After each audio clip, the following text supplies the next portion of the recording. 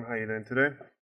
I'm here again with another video showing you guys how to disassemble your laptop and repaste and do your own service job for your portable laptops. In this time, today we have an Asus a laptop. It's the model number TP501U. Uh, let's just put the working towel on the bottom. Uh, first thing, when you flip the laptop, I don't see any ventilation except this ventilation right in the middle. And there's no side exhaust going out, there's only backside. And if there's a ventilation right here in the middle top, that means the fan should be somewhere over here. And there's a opening gaps right here.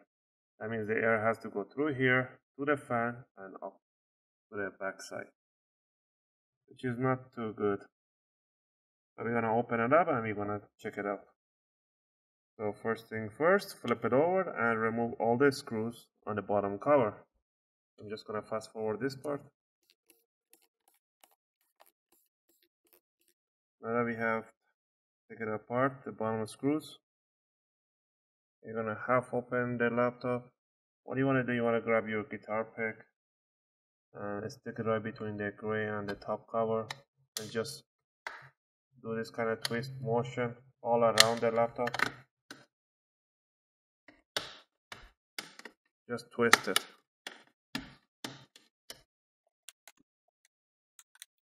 Alright.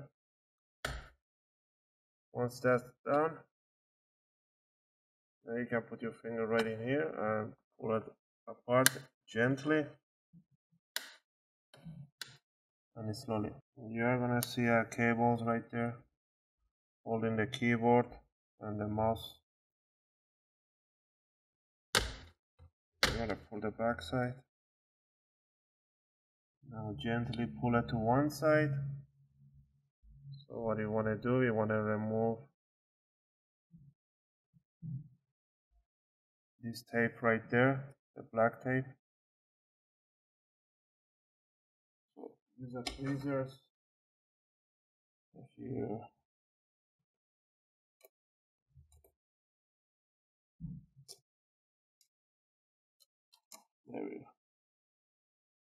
Once once you did that, you just gotta unclip the locks and just pull the cables out. Oh, there we go. And you got your keyboard. And why I don't like these keyboards is because they come from the bottom to top. You can't actually replace them from the top side because they're kind of they are mesh type, so they go from underneath. So if you ever spill anything and you want to change it, you have to remove all these patches, the plastic dots. You have to remove them, they are not a screw.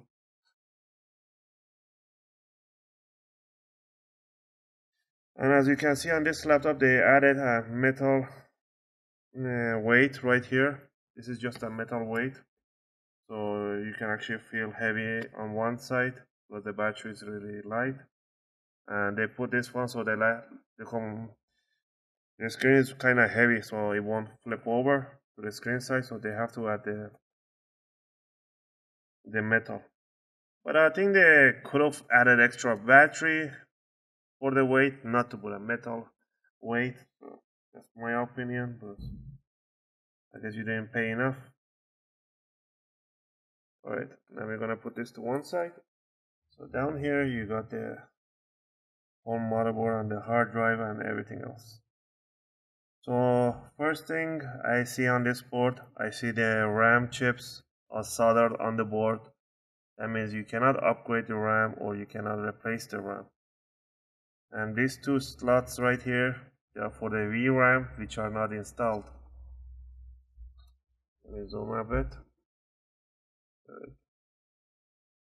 Uh, so we got the hard drive, the Wi-Fi board, and this whole thing is the battery which just comes all over here and down in the other side we have the USB and the power button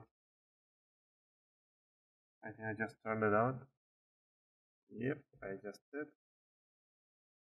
so I'm just gonna force shut down this one right now. Hold it for five seconds. There we go. Anyway, first thing first, we want to remove the hard drive by removing these two screws and one screw right back there. And one right and two in the front. Uh, 500 screws on this one. So we're going to remove one, two, three, four, and five screws.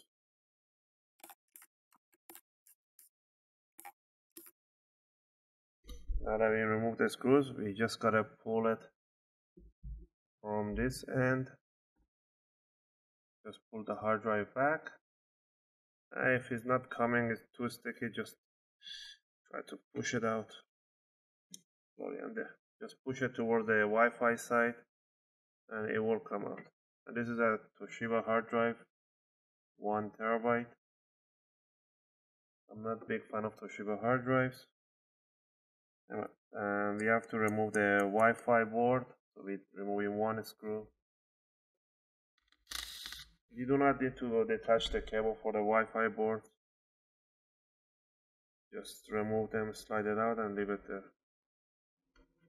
You can detach it if you want to, but I just don't do it, there's no point. But the cables are right here on the bottom side. Next we're gonna remove the ribbon cable for on off switch. So lift up this and pull it out. Next, we want to remove the battery cable, but in order to do that, we have to remove these two screws. And I don't want to bend the board, so I'm just going to unscrew the whole board. So there's a one, two, three, four, five, six, seven, eight screws that we have to unscrew.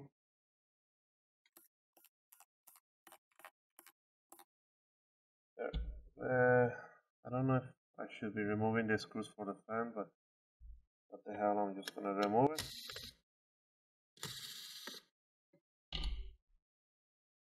Alright, now we remove the fan too, so we're just gonna lift up the board gently a little up, and we should be able to pull out the I don't if it has a clip on the other side. It's kind of hard, so let's just remove the LCD. I'm thinking this one is the LCD and the other one is the touch, or this is the LCD and this is the touch cable. So unhook that one. And lift up gently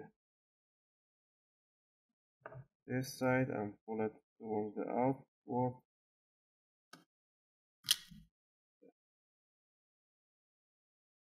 Also, you can detach this board right here that's the speaker. That goes to a SATA board right there. I don't know why I cannot remove this battery plug right there. Maybe it's built in soldered in so that'd be kind of stupid. So let's go and lift up the whole motherboard and flip it over just gonna flip it over leave it like that. You can only upgrade one RAM on this side inside of it. You cannot upgrade the other RAM so there's one DIMM RAM to upgrade. And there's a CPU right there and the heatsink. It's kind of okay better than this one than my other videos. You can see there's a they don't even have the tubings as you can see the fan is right over here. It gets right here under the heatsink place is right over here and there is a ventilation right over there. Let me try zoom out. So if the fan is right there air has to come through here go through here and just exits from the heatsink. So because the fan is really close to the bottom cover it's really hard for the air to just travel from this entrance to the fan and to the outward so that's why it just runs a little hotter and again I don't like these clamps that they use for the holding the CPU these are flimsy clamps right there. So this is the warranty sticker. I'm just gonna put it to one side. And if you want to replace the thermal paste you have to unscrew the four screws right there. I'm not gonna do this one because if you want to replace the thermal paste, you just have to remove these four screws and clean it up and just put the new thermal paste. So this laptop is just brand new. I'm not gonna avoid the warranty to do it. I'm just gonna stick it back on. But now that we can see that if you want to upgrade your RAM, you, there's a hard way you have to flip the motherboard from inside. There's no bottom cover, easy access for the bottom side RAM. To upgrade that one. Uh, the top side RAM is soldered in. So that's kind of uh, no-no for me. If you want to put it back in just put the charger side port in down first and then push it down slowly and it should fall in place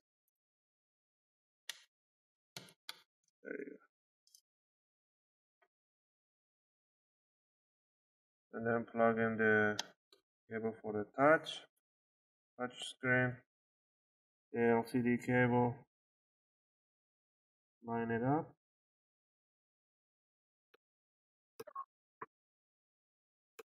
And you plug in the cable for the screen. And before I put the power switch on 45 degree angle put the Wi-Fi board in and then start putting all the screws back in.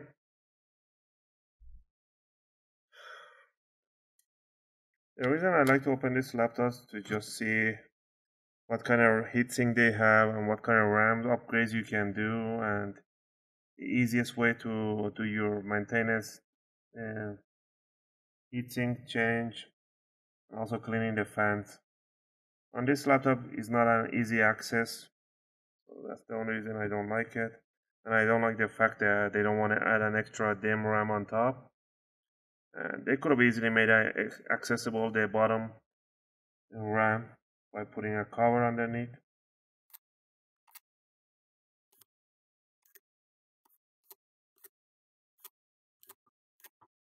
Once you have all the screws, you want to put the screws for the Wi-Fi port.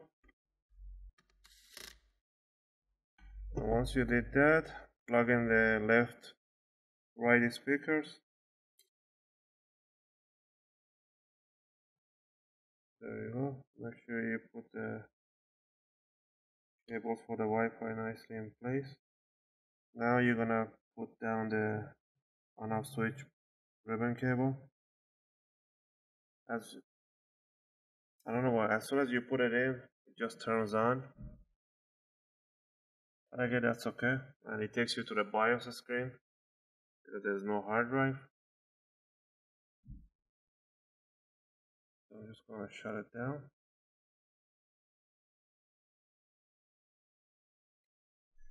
Now you want to grab your hard drive, slide it, put it down, and then slide it towards the right speaker.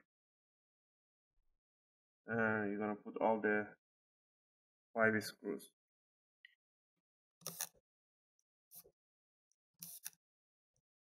If you guys have any question, doubts, and you want me to reopen it actually to show you more about the parts of this one which I doubt it because there's not much to open and let me know in the comments as you can see in this side there's only one and two screws that hold in this port which is one USB volume rocker and power on switch and then memory card reader which are attached to there's a left speaker right there there's not much more I can do here to open it up. So now we're to put the top cover. So you want to grab the top cover and if you want to change your mouse pad or something like that, just the three screws that are holding it. Unscrew these three and it's just going to fall down the other side. And in a 45 degree angle, you're just going to slowly slide it in Let's see if you guys can see this. I'll put it in an offset type. Uh, I'm gonna slide in the keyboard. Once the keyboard is slide in, just close it. The mouse pad. Slide it in. And close the top. And now you're gonna put it back in. Put everything down. Just you're gonna pinch all the sides on the corners. Just go ahead and pinch it like that. On the top side, just push it down by the hinges. And slowly. Now you can go ahead and close the lid flip it over and put all the screws back in. I hope you guys like this video. If you like it, thumbs up. And if you have any questions, just ask me in the comments and I'll be glad to answer them. And if you subscribe, you guys help me out to make more videos and take requests. Thanks for watching, guys. Just gonna finish putting the screws.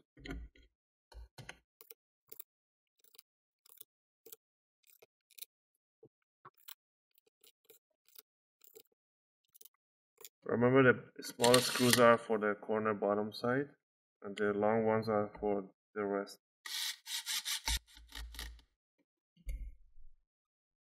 Alright. We are all set. And thanks again for watching.